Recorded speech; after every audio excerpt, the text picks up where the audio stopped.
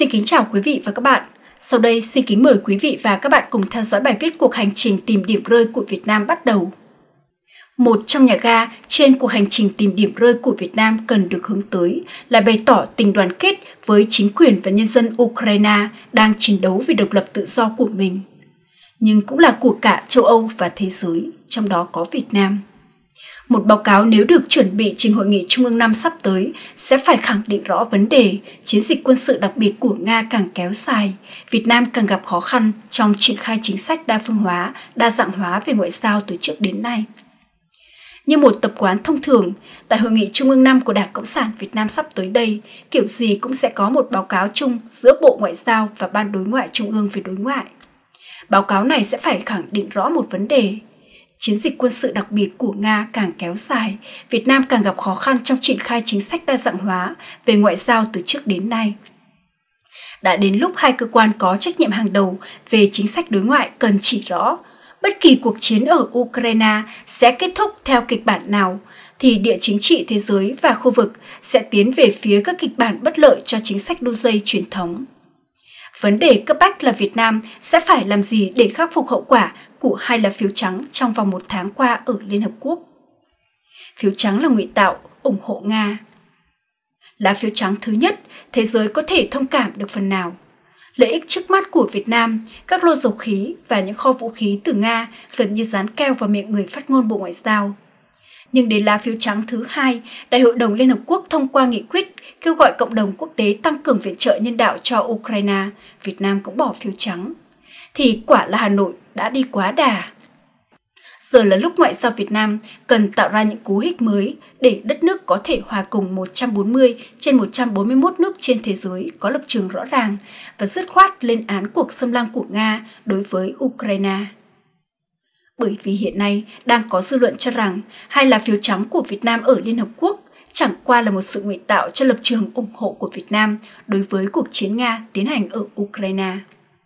Để giải tỏa dư luận tiêu cực ấy, cũng như để vượt thoát não trạng của một tiểu quốc từng bị buộc chặt vào cỗ xe của anh cả và anh hai, Việt Nam hiện đang bắt đầu cuộc hành trình đi tìm điểm rơi về lợi ích. Nếu vì các lợi ích trước mắt phải o bế Nga, lại bị hút vào quán tính cũ là tình đoàn kết Việt Trung Xô ngày nào, buộc Việt Nam phải tiếp tục làm người ngoài cuộc. Quan sát cuộc diệt chủng của Nga từ khán đài, thì Việt Nam sẽ đi dần vào thế cô lập. Điểm rơi giờ đây cần xác định, xem đâu là thời điểm để nền ngoại giao hội nhập phải vượt thoát khỏi thân phận một tù binh của quá khứ để tiến vào không gian mới là Ấn Độ Thái Bình Dương tự do và rộng mở. Nếu không bứt phá được để tận dụng không gian này, Việt Nam sẽ khó khăn bội phần không chỉ cho quan hệ với Mỹ mà cả với Nhật Bản, Úc lẫn châu Âu. Chiến tranh ở Ukraine dường như không làm cho Mỹ lơ là tập trung ở liên vùng phẫy, đặc biệt là ở Biển Đông vì căng thẳng vẫn tồn tại, xung đột còn lâu mới được giải quyết. Trung Quốc ngày càng củng cố hiện diện trong vùng, quân sự hóa các đảo nhân tạo mà họ chiếm đóng ở Trường Sa và Hoàng Sa. Vài ngày sau khi Nga tấn công Ukraine vào hôm 24 tháng 2, Trung Quốc lại tăng ngân sách quốc phòng, đã ở mức rất cao, bỏ xa mọi ngân sách của các nước trong vùng và hiện đứng thứ hai trên thế giới chỉ sau Mỹ. Ngoài ra, Bắc Kinh tăng cường hiện đại hóa đội tàu chiến. Cứ 2 năm, đội tàu Trung Quốc được cho là tăng gấp đôi về trọng tải. Theo tài liệu của Lầu Năm Góc, năm 2021, nỗ lực và sự đầu tư ổ ạt đáng kể đó đã giúp cho Hải quân Trung Quốc đứng đầu thế giới về trọng tải dù có thể không phải là về chất lượng hay công nghệ. Các biện pháp trừng phạt mới đối với Nga sau khi Nga xâm lược Ukraine sẽ khiến cho Việt Nam ngày càng khó tiếp tục nhập khẩu vũ khí từ Nga hơn. Thứ nhất sẽ có những trở ngại về mặt kỹ thuật và tài chính, vì Nga sẽ không tiếp cận được với một số bộ phận và linh kiện nhập khẩu cần thiết cho việc sản xuất vũ khí của mình. Trong khi các ngân hàng lớn của Nga đã bị loại khỏi mạng lưới thanh toán toàn cầu SWIFT, khiến cho hai bên khó giải quyết các khoản thanh toán. Thứ hai là tiếp tục mua vũ khí từ Nga sẽ dẫn đến rủi ro về uy tín, khiến cho Việt Nam có thể phải chịu các lệnh trừng phạt tiềm tàng, chẳng hạn như đạo luật ứng phó với các đối thủ thông qua trừng phạt năm 2017 của Washington. Do đó, trong tương lai, Việt Nam nhiều khả năng sẽ đẩy mạnh nỗ lực giảm phụ thuộc vào vũ khí Nga. Cam kết đối tác an ninh với Mỹ Mặc dù vậy, sẽ không dễ để Việt Nam có thể mua được vũ khí và thiết bị quân sự mới từ các nước khác.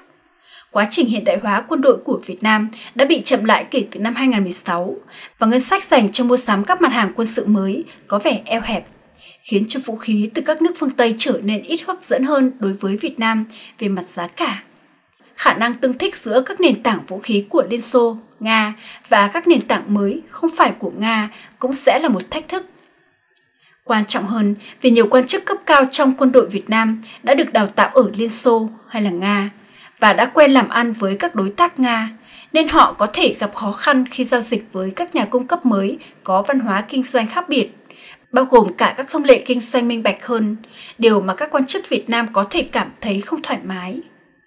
Chính vì thế, chuyến thăm vừa qua của Cố vấn Ngoại trưởng Mỹ Derek Chollet tại Việt Nam bàn về quan hệ đối tác an ninh có ý nghĩa đặc biệt. Theo thông báo của Bộ Ngoại giao Mỹ, Cố vấn Ngoại trưởng Mỹ thăm Philippines, Việt Nam và Nhật Bản từ ngày 28 tháng 3 đến mùng 2 tháng 4 để khẳng định cam kết của Mỹ đối với các đối tác và đồng minh ở khu vực Ấn Độ-Thái Bình Dương. Tối ngày mùng 1 tháng 4, ngày thứ hai và cũng là ngày cuối cùng của chuyến thăm Việt Nam, Cố vấn Ngoại trưởng Derek Chollet đã dành thời gian chia sẻ với giới báo chí tại Hà Nội. Cố vấn Ngoại trưởng khẳng định sự ra đời của chiến lược Ấn Độ Dương-Thái Bình Dương mới thời gian qua cho thấy sự quan trọng của khu vực này nói chung và Đông Nam Á nói riêng đối với Hoa Kỳ. Trong đó Việt Nam nổi bật lên như là một đối tác then chốt với Hoa Kỳ trên mọi lĩnh vực. Dù là trên khía cạnh chính trị, ngoại giao, kinh tế, công nghệ, biến đổi khí hậu hay là an ninh. Ông đánh giá cao vai trò chiến lược, tiếng nói quan trọng của Việt Nam tại khu vực và quốc tế. Tiếp cố vấn Derek Bộ trưởng Bùi Thanh Sơn bày tỏ vui mừng trước những bước phát triển tích cực của quan hệ Việt Nam-Hoa Kỳ trong 27 năm qua, thể hiện trên tất cả các lĩnh vực hợp tác, đặc biệt là kinh tế, thương mại, khắc phục hậu quả chiến tranh, và mới đây là hợp tác phòng chống COVID-19 và ứng phó với biến đổi khí hậu. Bộ trưởng Bùi Thanh Sơn tái khẳng định Việt Nam coi Hoa Kỳ là một trong những đối tác quan trọng hàng đầu và mong muốn thúc đẩy quan hệ với Hoa Kỳ. Bộ trưởng đề nghị cố vấn phối hợp thúc đẩy trao đổi đoàn cấp cao giữa hai nước trong năm 2022,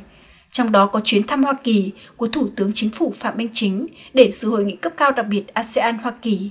và tham gia các hoạt động song phương. Tiếp xúc đại diện Ukraine tại Hà Nội. Ngày 5 tháng 4 năm 2022, ông Oleksandr Kaman, tân đại sứ Ukraine tại Việt Nam, đã có cuộc gặp mặt riêng rẽ với đại sứ Hoa Kỳ Mark Knapper và đại sứ Ba Lan Gosek Kowel chỉ 3 ngày sau khi đến Hà Nội. Ông Alexander Gaman và phu nhân đến sân bay nội bài hôm 2 tháng 4 sau thời gian trì hoãn vì cuộc chiến tranh xâm lược do Nga gây ra ở Ukraine. Chào mừng đến Việt Nam, thưa ngài, và cảm ơn ngài vì cuộc trò chuyện tuyệt vời.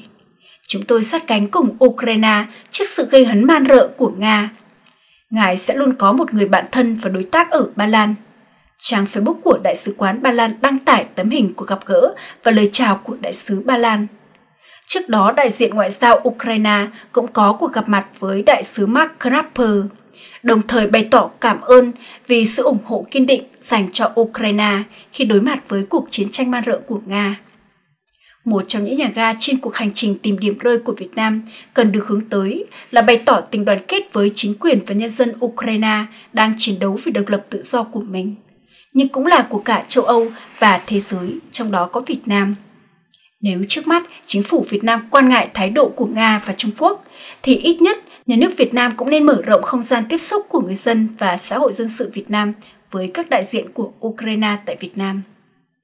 Trên tinh thần ấy, hy vọng các lễ cầu nguyện cho hòa bình ở Ukraine và tại nhà thờ Thánh Anthony và hội trợ quyên góp giúp nhân dân Ukraine tại Đại sứ quán Séc tại Hà Nội trong những ngày tới đây sẽ không bị cấm cản như một số hoạt động thiện nguyện hay là tọa đàm khoa học vừa qua tại Hà Nội. Quý vị và các bạn vừa theo dõi bài viết cuộc hành trình tìm điểm rơi của Việt Nam bắt đầu do biên tập viên Thu Phương Thời báo.de từ Berlin, Cộng hòa Liên bang Đức trình bày. Quý vị và các bạn nhớ like, share và subscribe kênh của chúng tôi để đón nhận những bài viết mới nhất. Xin chân thành cảm ơn quý vị và các bạn đã chú ý lắng nghe. Xin kính chào tạm biệt và hẹn gặp lại. Xin kính chào quý vị và các bạn. Sau đây xin kính mời quý vị và các bạn cùng theo dõi bản tin Trung Quốc cảnh báo về các biện pháp mạnh nếu Chủ tịch Hạ viện Mỹ Pelosi thăm Đài Loan. Hôm 7 tháng 4, Trung Quốc cảnh báo họ sẽ thực hiện các biện pháp mạnh mẽ nếu Chủ tịch Hạ viện Hoa Kỳ Nancy Pelosi đến thăm Đài Loan và cho biết chuyến thăm như vậy sẽ ảnh hưởng nghiêm trọng đến mối quan hệ Trung Quốc-Hoa Kỳ, theo Reuters. Cả văn phòng của bà Pelosi lẫn chính phủ Đài Loan vẫn chưa xác nhận chuyến thăm có thể diễn ra này. Nhưng theo một số báo chí Nhật Bản và Đài Loan, chuyến thăm sẽ diễn ra sau khi bà thăm Nhật Bản vào cuối tuần này. Người phát ngôn Bộ Ngoại giao Trung Quốc Triệu Lập Kiên nói với các phóng viên rằng Bắc Kinh kiên quyết phản đối mọi hình thức tương tác chính thức giữa Hoa Kỳ và Đài Loan và Washington nên hủy bỏ chuyến đi đó. Nếu Mỹ nhất quyết có đường lối riêng, Trung Quốc sẽ có những biện pháp đáp trả mạnh mẽ để bảo vệ chủ quyền và toàn vẹn lãnh thổ quốc gia. Mọi hậu quả có thể xảy ra từ việc này sẽ hoàn toàn do phía Mỹ gánh chịu. Ông Triệu nói thêm. Tại Đài Bắc, người phát ngôn Bộ Ngoại giao Đài Loan Chen Nu nói rằng Việc mời các quan chức và Bộ trưởng Hoa Kỳ luôn là một phần quan trọng trong công việc của Bộ Ngoại giao Đài Loan và sẽ thông báo bất kỳ chuyến thăm chính thức nào vào thời điểm thích hợp. Bà Pelosi, một người lâu nay chỉ trích Trung Quốc, đặc biệt là về các vấn đề nhân quyền, đã tổ chức một cuộc họp trực tuyến với Phó Tổng thống Đài Loan William Lai vào tháng riêng khi ông kết thúc chuyến thăm Hoa Kỳ và Honduras. Bà Pelosi là một trong những chính trị gia cấp cao nhất của Đảng Dân Chủ cầm quyền và đứng thứ hai trong hàng kế vị Tổng thống Hoa Kỳ sau Phó Tổng thống. Từ trước đến nay, Đài Loan được chính quyền của Tổng thống Biden ủng hộ liên tục và Washington thường nói rằng họ cam kết vững như bàn thạch đối với hòn đảo này. Quý vị và các bạn vừa theo dõi bản tin Trung Quốc cảnh báo về các biện pháp mạnh nếu Chủ tịch Hạ viện Mỹ Pelosi thăm Đài Loan. Do biên tập viên Thu Phương, Thời báo.de từ Berlin, Cộng hòa Liên bang Đức trình bày. Quý vị và các bạn nhớ ấn like, share và subscribe kênh của chúng tôi để đón nhận những thông tin mới nhất. Xin chân thành cảm ơn quý vị và các bạn đã chú ý lắng nghe. Xin kính chào tạm biệt và hẹn gặp lại quý vị và các bạn.